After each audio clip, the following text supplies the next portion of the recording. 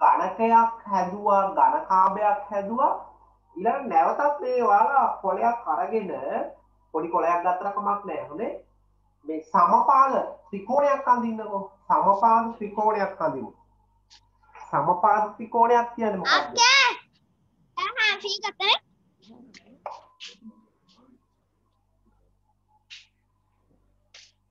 සාමාන්‍ය පොඩි කොල කෑල්ලක ඇඳත් ඇති.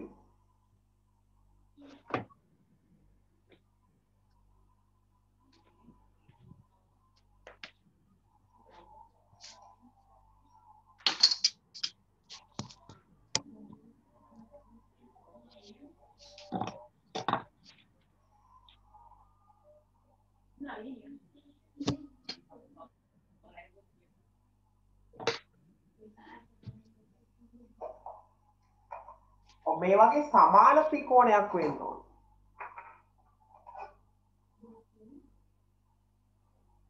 ඒ කියන්නේ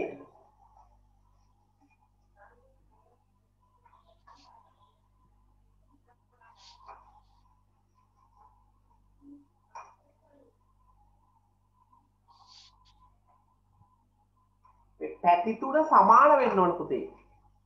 ඒ කියන්නේ මෙහෙම එක පැත්තක් දිගට තියෙන්න බෑ. දැන් මෙහෙම දිගට බෑ. මේ පැති දෙක දිගයි මේක කොටයි. එහෙම බෑ. ඔව්. උඩම සමාන.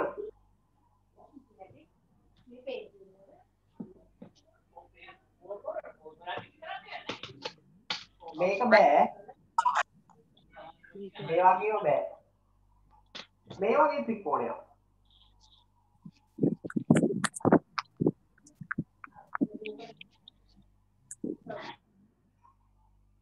Right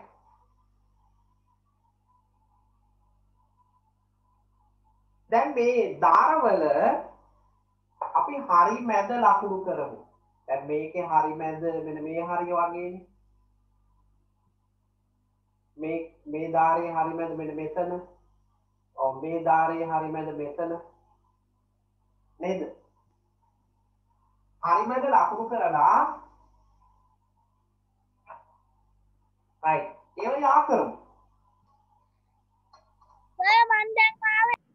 ඔව් මේ මේ වගේ සමාන සමාන ත්‍රිකෝණයක් කපාගෙන ඔව් මේ හරි මැද ලකුණු කරගෙන මේ වගේ යා කරමු.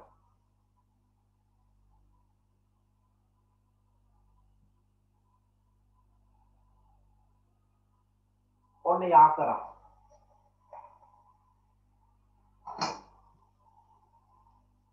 right මේ වගේ යා කරා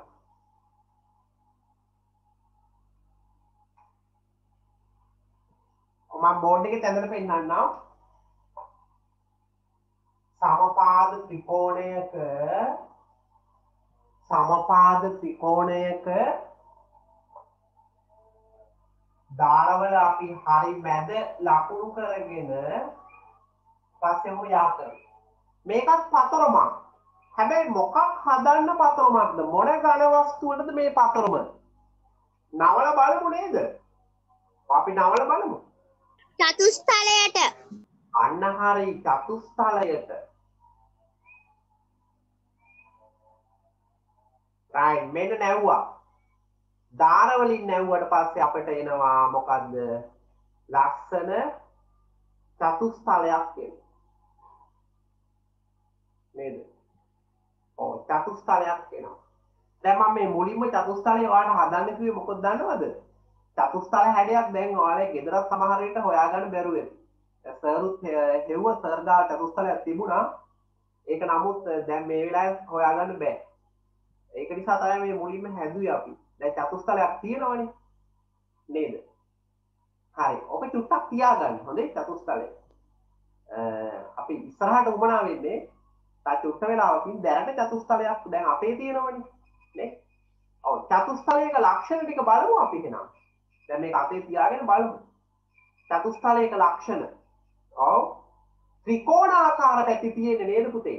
ත්‍රිකෝණාකාර පැති කීයක් තියෙනවද? 1 2 3යි යට 1යි 4යි උඩ 3යි යට 4යි මේ කොහොම හැරෙව්වත් එහෙමයි.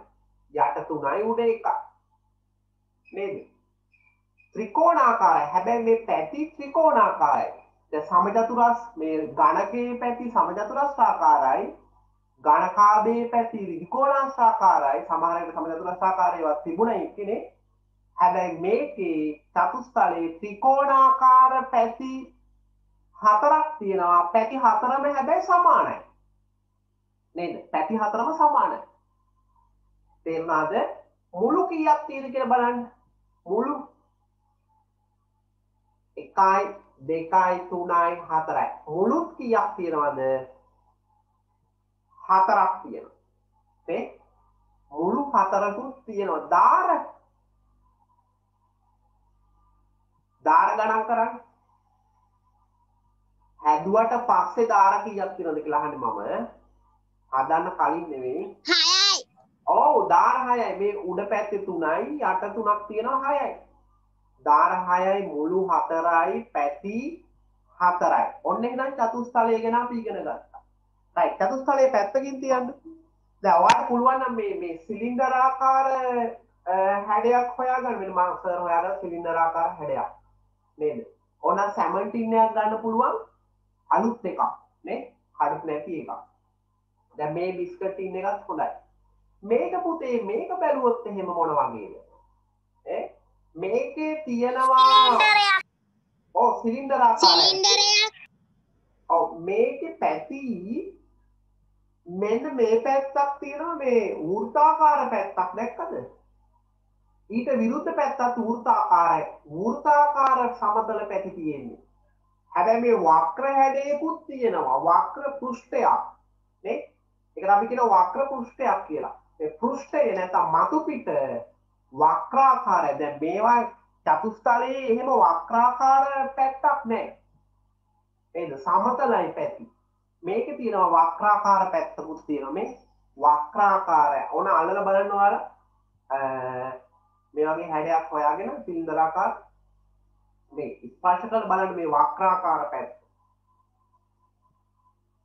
ඒක තියෙන්නේ සිලින්ඩරේ තමයි. දැන් අපි මෙතෙක් කතා කරපු ඝන වස්තු වලින් සිලින්ඩරේ විතරයි තියෙන්නේ.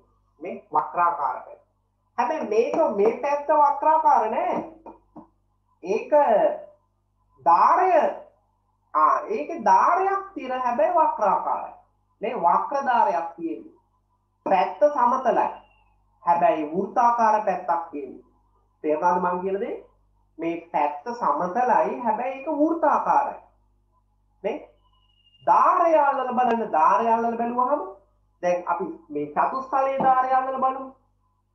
ආ චතුස්තලයේ ධාරය මේ තියෙන ධාර මේ හැම ධාරයක්ම ඔව් ඔව් හැම ධාරයක්ම වක්‍රද? නෑ නේද? වක්‍ර ධාර නෙවෙයි ඒවා. එහෙනම් අපි ඒවට මොකද්ද කියන්නේ? ඔව් දැන් ඝනකාභයේ මේ අපි දැන් ඝනකාභය සහ ඝනකය ඒ දෙකේ තිබුණේ පුතේ මේ වක්‍රධාර නෙවෙයි. නේ? ඒවට කියනවා අපි සරල ධාර ඕ මේවට කියන අපි සරල ධාර හැබැයි සිලින්ඩරයේ තිබෙන්නේ වක්‍රධාර. මේ පැත්තත් වක්‍රධාර. වක්‍රධාර දෙකක් තියෙන එහෙනම්. නේද? වක්‍රධාර දෙකක් හොඳයි. අපිට එහෙනම් මේ දෙක අපේ තියාගෙන අපි අර ඉස්සෙල්ලා වගේ බලමු. මාතෘකාව ලියලා ඒ දෙක ඇඳලා අපි වෙනස්කම් සහ සමානකම් බලමු. එහෙනම් මාතෘකාව ලියන්න. සිලින්ඩරය සහ චතුස්තලය. සිලින්ඩරය සහ චතුස්තලය.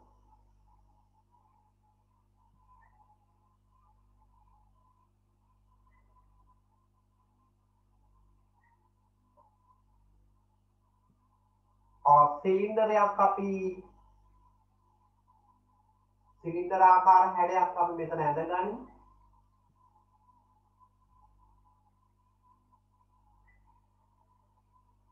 අපිට අඳින්න පුළුවන් වෙන්නේ මේ විදිහට මේ චතුස්තලයක් ඇඳගනිමු. චතුස්තලයක් මේ සමාන ත්‍රිකෝණයක් ඇඳලා මැද තිතක් තියලා ඔව් ওই විදිහට ඇඳ ගන්න පුළුවන්.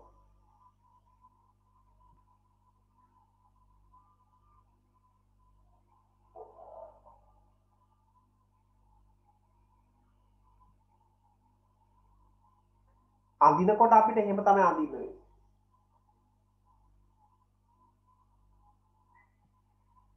ඔනම් මේක අර නොපෙනෙන පැත්ත කඩේරි වලින් පෙන්වන්න පුළුවන් ඒක එතකොට එහා පැත්තේ තියෙන්නේ නේද නොපෙනෙන ඒ පැත්ත පේන්නේ නැහැ. ඒක එහා පැත්තේ තියෙන කොටස.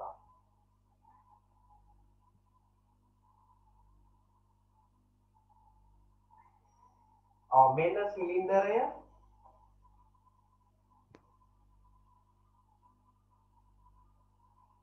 මෙන්න චතුස්තලය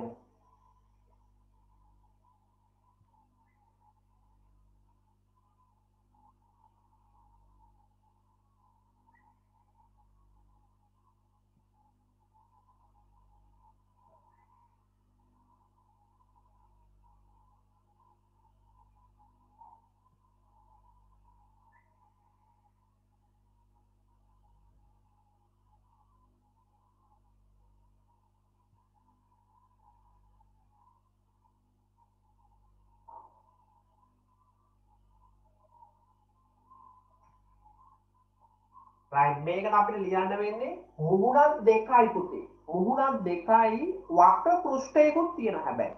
මේ බලන්න. මුහුණක් දෙකයි. මෙන්න මේ පැත්තයි මේ පැත්තයි. මුහුණක් දෙකයි වක්‍ර පෘෂ්ඨයක් තියෙනවා. නේ? රයිට් එහෙනම් අපි ලියමු.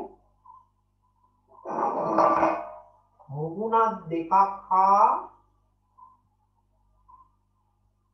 මුහුණක් දෙකකි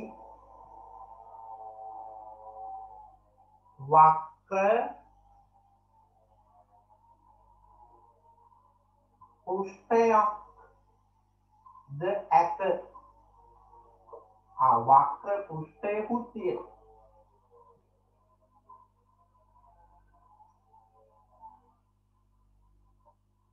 මේකේ මුහුණක් හතරක් මුහුණක් හතරකි.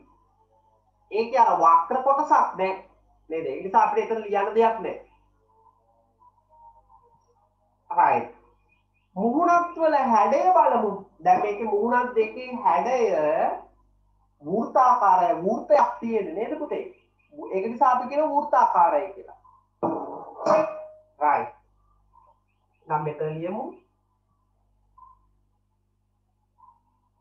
මුහුණක් වල හැඩය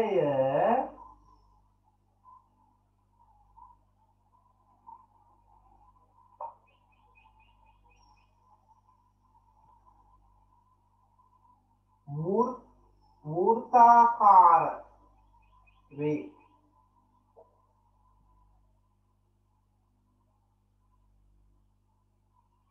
මේක තියෙන්නේ ත්‍රිකෝණ හැඩයේ මුහුණක්. නැත්නම් ත්‍රිකෝණාකාර ත්‍රිකෝණ හැඩයේ මුහුණක්.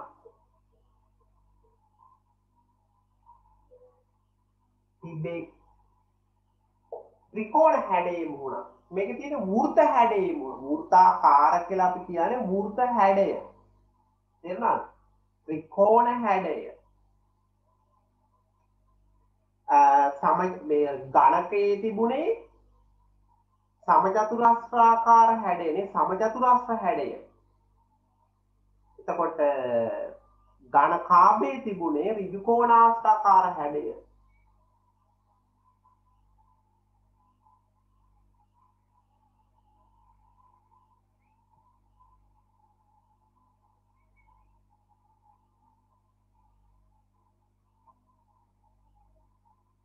හොඳයි. දාර බලමු මේ දෙකේ.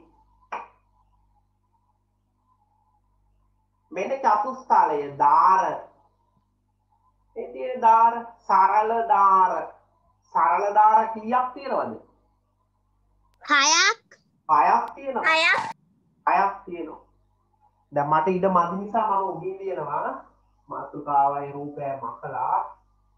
චතුස්ථලයේ පැත්තේ ලියන්න ඕනනේ ඔව් මොකද්ද සරල දාර සරල දාර හයක් ඇත සිලින්ඩරේ තියෙන සරල දාර නෙවෙයි වක්‍රදාර වක්‍රදාර දෙකක් ඇත වක්‍රදාර දෙකයි තියෙන්නේ දැන් ගණකයේ තිබුණේ සරලදාර තමයි හොඳ අපි එතන අර ඒ දෙකේ වක්‍ර කොටසක් නැති නිසා අපි සරල කියන වචනේ පාවිච්චි කරේ නැහැ එතෙන්දී. ඒකෙත් තියෙන සරලදාර තමයි. ගණකාභයේ තියෙන සරලදාර දැන් මේකේ වක්‍ර කොටසක් තියෙන නිසා සිලින්ඩරේ ඒ නිසා අපි මේ වචන දෙක වෙන වෙනම පාවිච්චි කරනවා. සරලදාර හයක් ඇත වක්‍රදාර දෙකක් ඇත.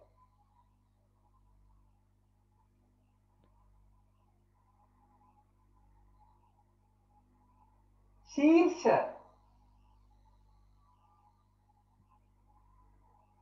සිලින්ඩරය දැන් අපි චතුස්තරය ගත්තොත් ශීර්ෂ කීයද හතරයි ඔව් මුළු ශීර්ෂ හතරකි හැබැයි සිලින්ඩරය අරගෙන බලමු ශීර්ෂ තියෙනවද නෑ මුළු නෑ මුළු ඇඳපු එකේ නම් මුළු තියෙන බව අපිට නිකන් පේනවා. නමුත් ඇත්තටම අරගෙන බැලුවොත් එහෙම අතට අරගෙන බලන්න මුළු නෑ ඒ මුළු නැත නැත්නම් ශීර්ෂ නැත. ශීර්ෂ නැත. එහෙනම් දැන් ඔයාලට පේනවද මේ චතුස්තලය සිලින්ඩරය ගත්තට පස්සේ මේ දෙක සංසන්දනය කරාට පස්සේ ලොකු වෙනස්කම් තියෙන්නේ නේ. සමානකම් වලට වඩා වෙනස්කම් තියෙන්නේ. ගොඩක් සමාන දෙක තමයි ගණකයයි ගණකාභයයි ඒ දෙකේ අසමානකම් හොයාගත්තේ බොහොම අමාරුයි. නේද? ඔව්. හරියටම සමාන හැබැයි මේ දෙක ගොඩක් අසමානයි. නේ?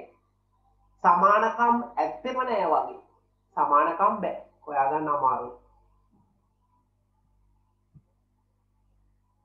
තේරුණාද?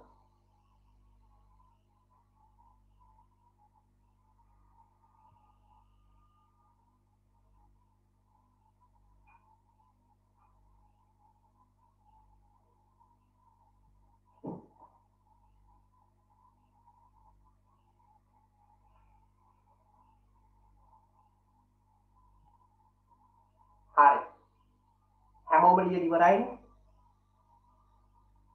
එහෙනම් දැන් මේ දෙකේ වෙනස්කම් ගැන වාක්‍ය දෙකක් ලියන්න කිව්වොත් ලියන්න පුළුවන්ද? පුළුවන් ඔයාලම අර්ථයක් දෙන්නම්. නේ? මෙන්න ප්‍රශ්නය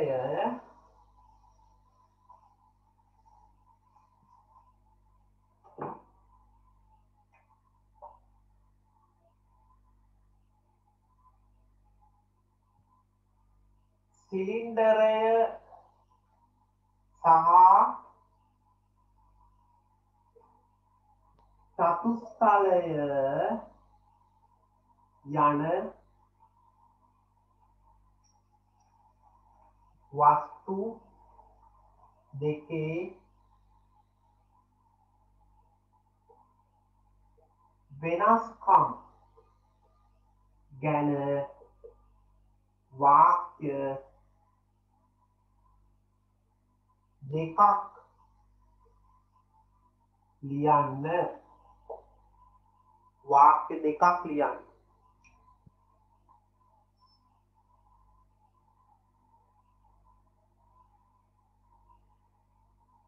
රයිට් ලියන්න බලන්න.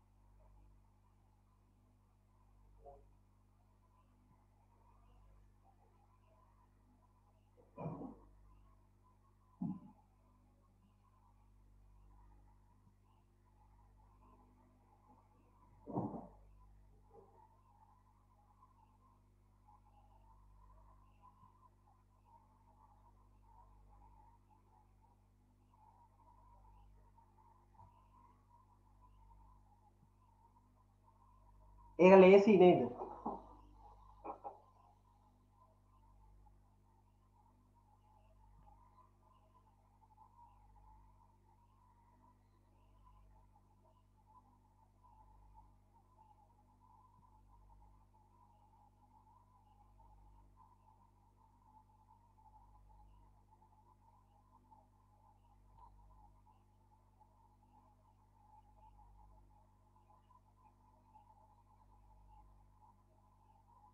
එකනම් ලේසියෙන් ලියන්න පුළුවන් නේද පුතේ?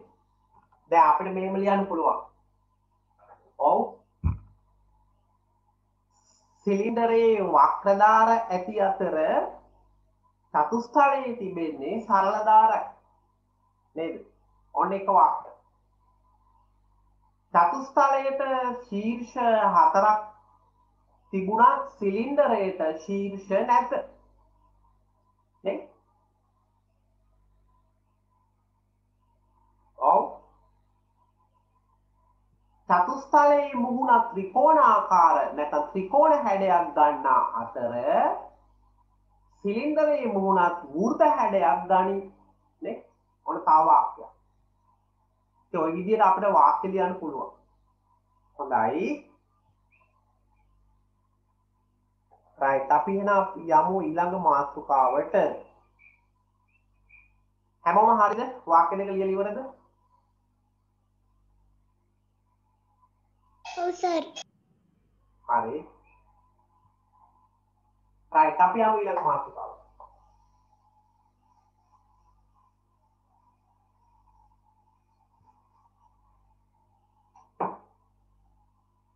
ආදැයි අපි ඒක භාගයක් කරලා තියෙන මොකක්ද චතුස්ථලයක් අපි දැන් නේද?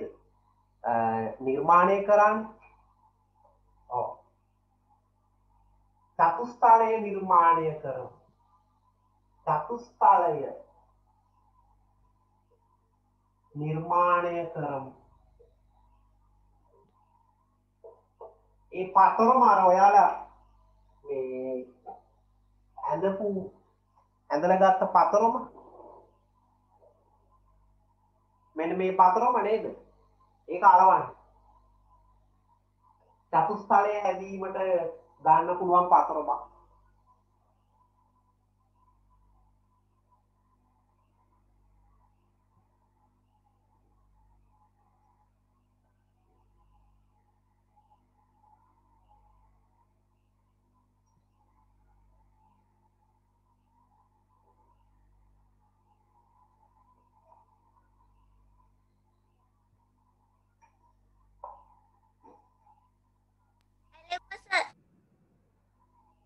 මේ මේ වගේ එකක් නේ ඔයාලා ඇඩුවේ දැන්. ආ අපි ඉස්සරහින් ලියමු. චතුස්ථලය සෑදීමට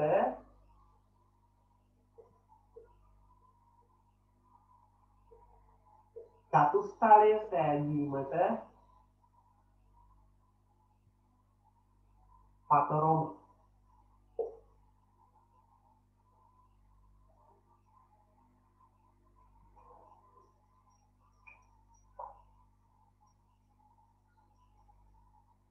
සිලින්ඩරය නිර්මාණය කරමු.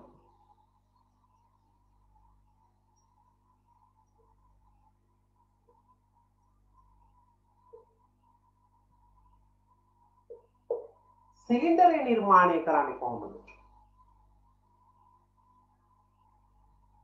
ඔන්න බලා ගන්න මේකට පුතේ අපිට උමනා වෙන්නේ ආ, ඍජුකෝණාශ්‍ර හැඩයේ කඩදාසි කොටසක් ඕන. ඍජුකෝණාශ්‍ර හැඩයේ කඩදාසි කොටසක් උවමනා වෙනවා. නේද? ඒ වගේම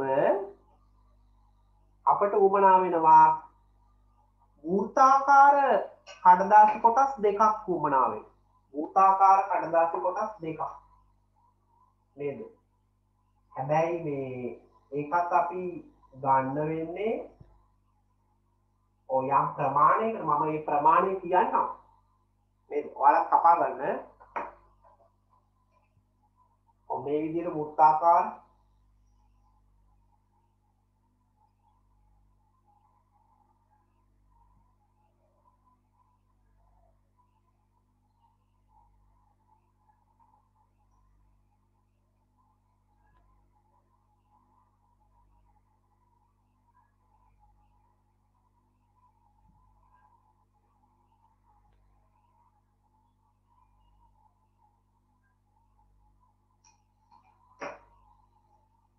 රයිට් මේ විදිහට වෘත්තාකාර කොටස් දෙකයි. ඍජුකෝණාශ්‍ර කඩදාසි කොටස.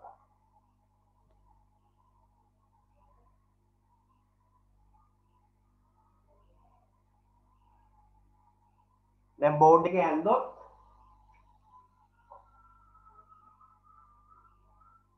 ඍජුකෝණාස්ථාකාර ඍජුකෝණ හැඩේ කොටසක් සහ මූර්ත හැඩයේ නේද කඩදාසි කොටස් දෙකක්. එක සමාන වෘත හැඩ දෙකක්.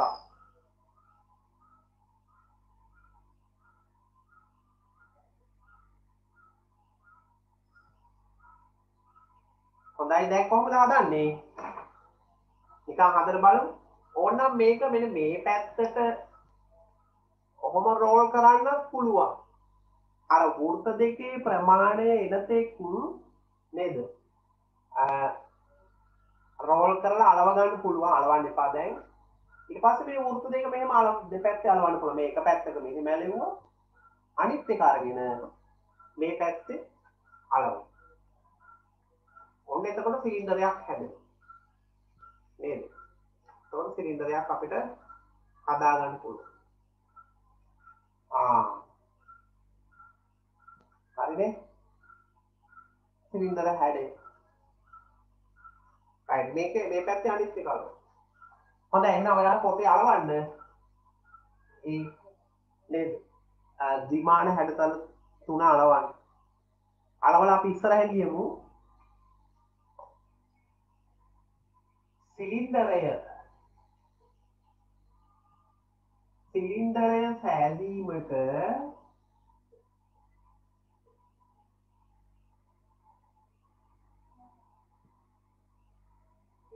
අවශ්‍ය විමාන හැඩ. විමාන හැඩ. හතරම තමයි. හොඳේ? විමාන හැඩ.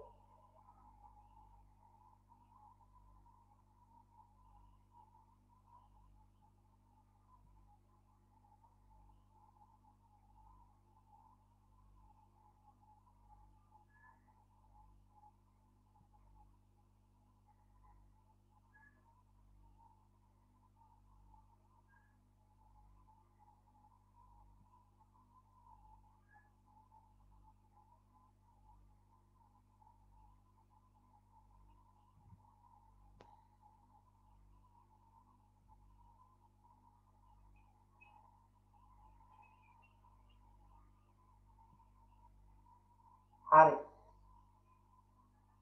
එහෙනම් ඔයාලා පෙළ පොතේ ඔයාලා පුතේ මේ පෙළ පොතේ